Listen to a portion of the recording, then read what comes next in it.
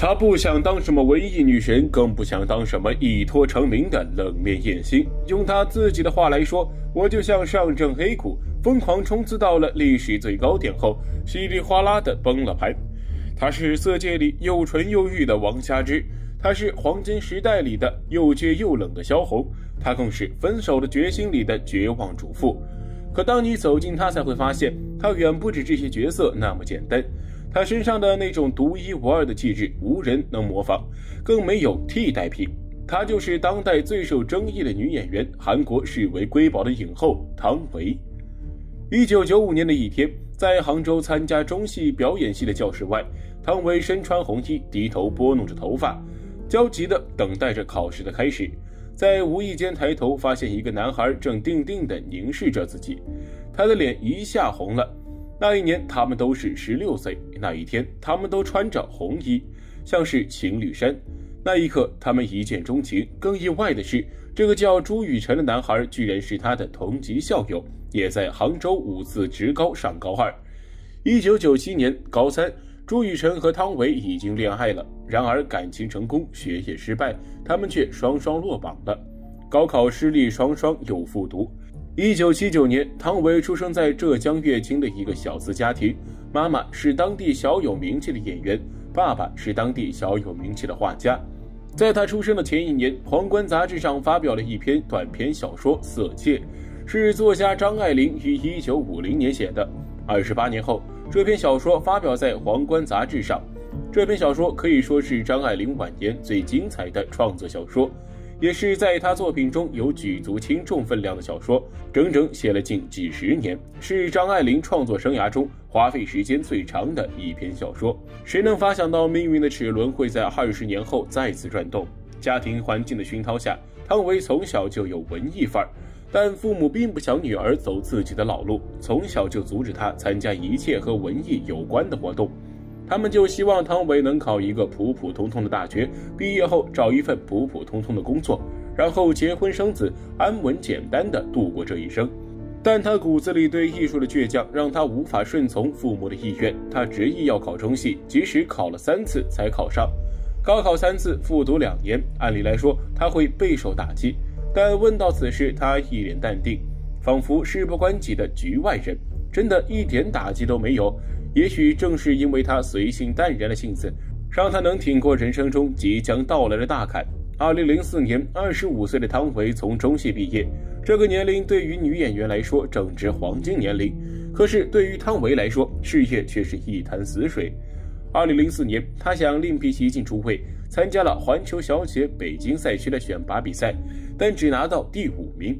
她妈妈打电话询问主办方因由，对方婉言答复。汤唯很优秀，但不够女人味儿。一转眼，已经二十七岁的汤唯，对比同期很多同学都已经成腕儿的情形，彼时的汤唯还在慢慢悠悠地混迹各个片场。很快，她迎来了人生最关键的一年，发生了四件大事。第一件事，终于当上了电影女主角，在银幕处女作《警花燕子》中饰演正义的女交警田燕。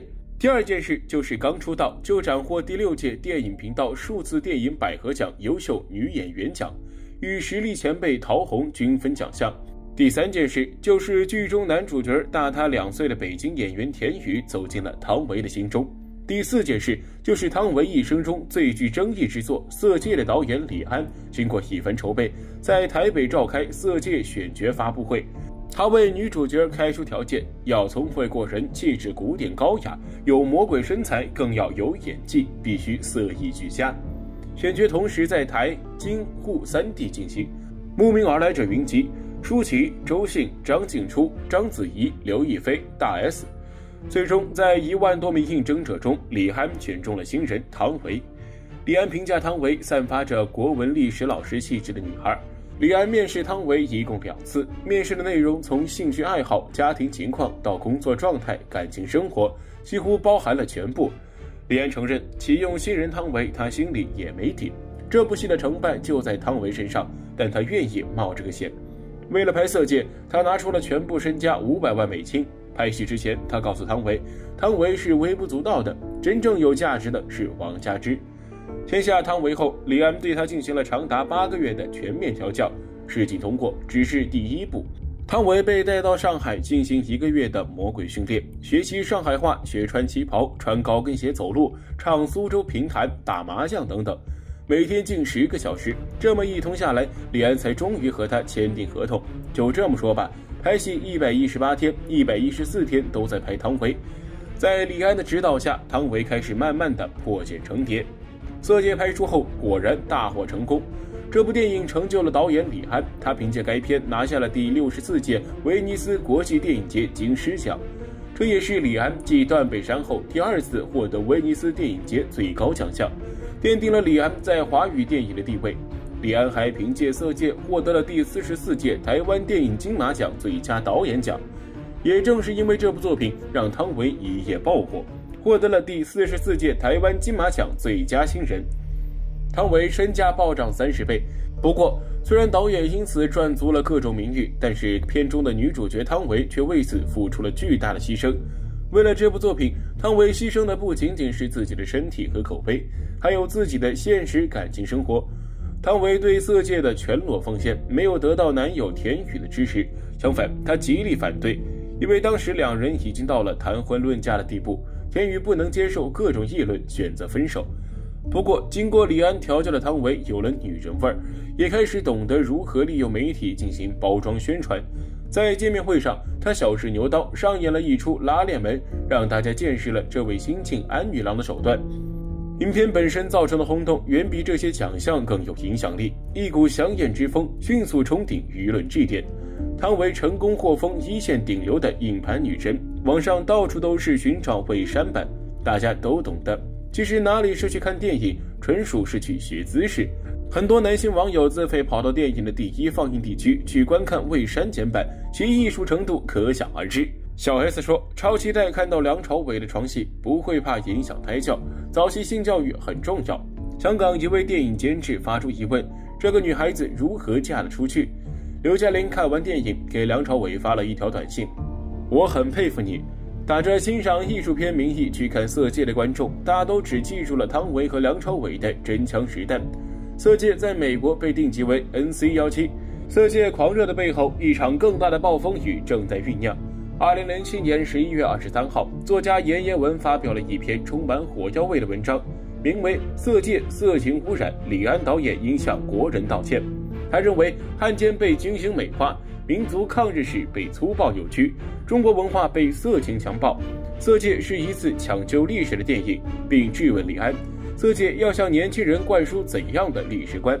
另一位作家魏明伦跟进，我看完电影后，能从电影名字上理解的就两点：色就是房中之术，戒就是代表金钱的六克拉钻戒，这两样东西加在一起，就可以瓦解掉民族情感。话剧《切格瓦拉》的编剧黄继苏更狠，发表了一篇评论文章：“中国已然站着，李安他们依然跪着，把李安骂了个体无完肤。”终于，二零零八年三月三号，广电总局关于重审电影审查标准的通知文件落地。五天后，南方都市报刊载消息，唐维被全面封杀，所有关于他的广告全部下架，任何电视台媒体不准宣传他。当时已经和他谈婚论嫁的男友也离他而去。一波又一波的暴风雨全部朝他一人砸过来。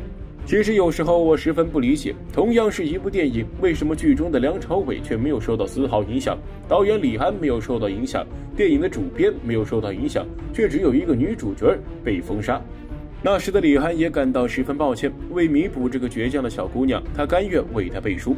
有人说，有华语电影的地方就有姜志强，姜志强是华语电影圈最低调的老板之一。有媒体将之奉为教父，《寒战》《捉妖记》《卧虎藏龙》《色戒》《英雄》《十面埋伏》《霍元甲》等都出自他的手笔。产后复出的姚晨、三重门之后的章子怡都曾密会姜志强寻求帮助和支持。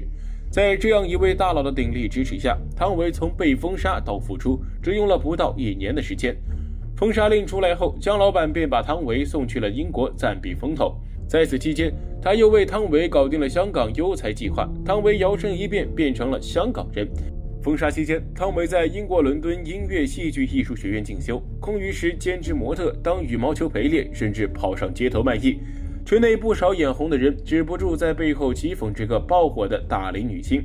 可谁会想到，两年后的二零一零年，香港爱情片《月满悬疑师》在内地上映。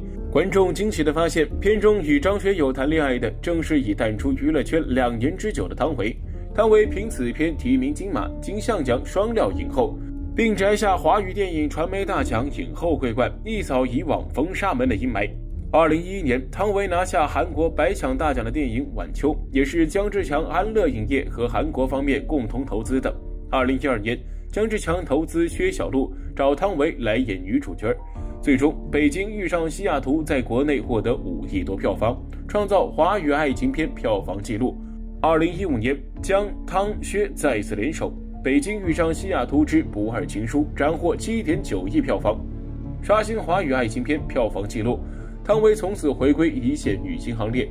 汤唯于晚秋中结识了韩国导演金泰勇，更于几年后的一次聚会中再次邂逅金泰勇，并成就了一段美满姻缘。